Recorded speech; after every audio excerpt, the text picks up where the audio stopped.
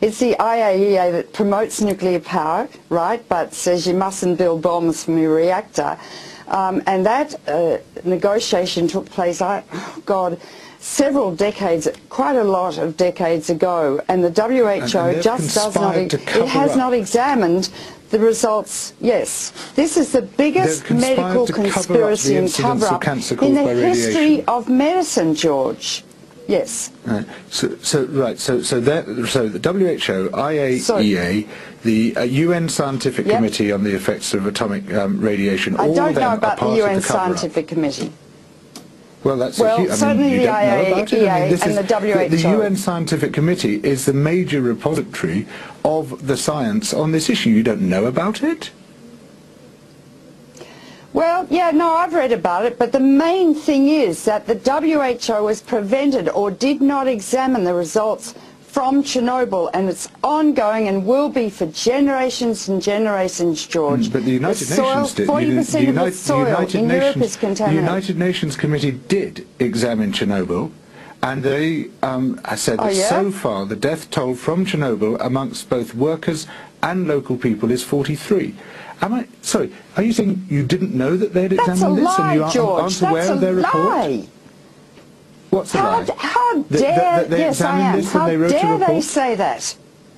On that, How But are dare you they aware- say are that? you This aware is a total report? cover-up. we're going to wrap with 10 Yes, seconds yes, of I each. am. Uh, in this I wake am. of what has happened in Japan and uh, on this anniversary of Chernobyl three weeks away, I give you each 15 seconds to express your concern as we wrap up this debate, beginning with George Monbiot. Well, we have to use the best available science, not cherry pick our sources, and we have to keep some perspective on this so that we don't see a massive rush to coal as governments get out of nuclear as a result of what's happened in Japan. And Helen Caldicott, 15 seconds. George, I totally agree with you about coal. I think it's a deadly substance and we must stop burning a la James Hansen. But we must not go from the global warming frying pan into the nuclear fire, George. This is an obscene technology.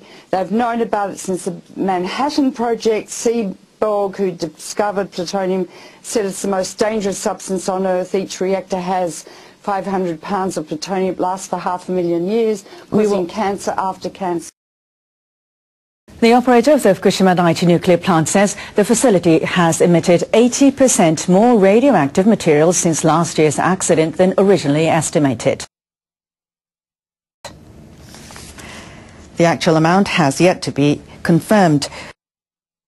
Officials at Tokyo Electric Power Company now estimate that 900,000 terabecquerels of iodine-131 and cesium-137 have been released into the air.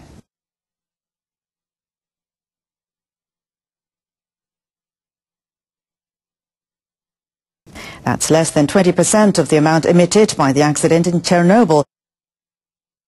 But it's 50 to 80% higher than separate estimates by the Nuclear Safety Commission and the Nuclear Industrial Safety Agency. TEPCO has analyzed the damaged reactors, radiation levels around the plant and radioactive materials in soil samples. A UN agency says the deaths of six workers at the crippled Fukushima Daiichi nuclear plant were not linked to radiation. The UN Scientific Committee on the Effects of Atomic Radiation, or UNSCEAR, released a preliminary report at its headquarters in Vienna on Thursday. Its study began last May based on data provided by the Japanese government. Based on data provided by the Japanese government. we don't have any indication that their death was related to radioactivity and exposure. based on data provided by the Japanese government. On the other hand, the committee confirmed that eight of the roughly 20,000 workers who had been involved in operations at the plant until late January were exposed to more than 100 millisieverts of radiation. Anyone with that dose is said to have an increased risk of cancer. UNSCEAR plans to compile a final report and submit it to the UN by the end of next year. The World Health Organization says some Japanese citizens were exposed to up to 50 millisieverts of radiation during last year's nuclear crisis, but it insists that this is not enough to cause cancer.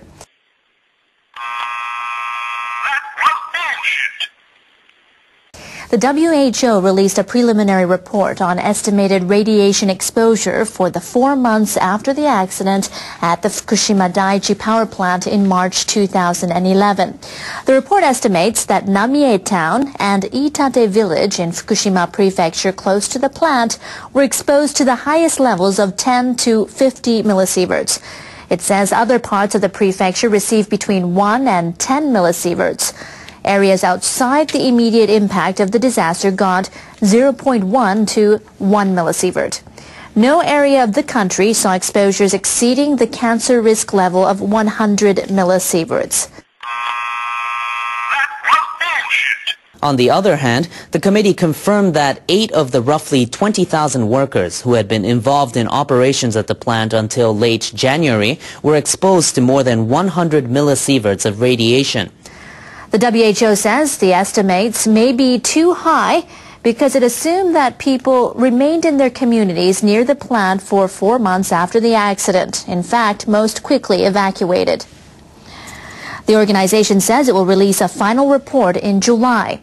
That report will include a comprehensive assessment of the accident's impact on human health.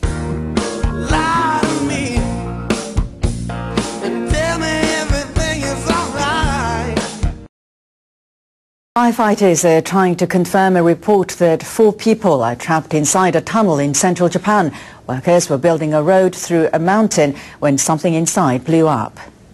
The explosion took place in mid-morning in the city of Minami Uonuma.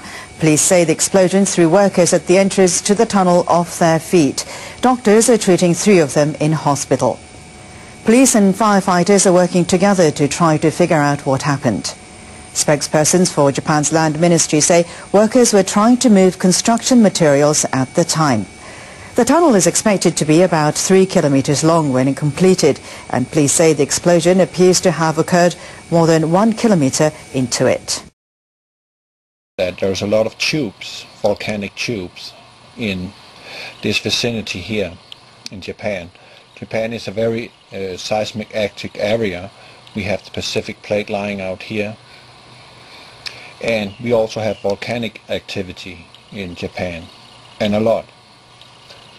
And Japan as we speak is already doomed and it's just a question of time. Uh, Japan is going to finally go down when Fujiyama is going to go erupt